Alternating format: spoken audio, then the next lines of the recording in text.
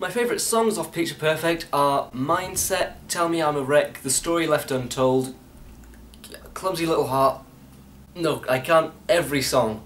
All the songs off Picture Perfect are so incredible and they mean so much to me.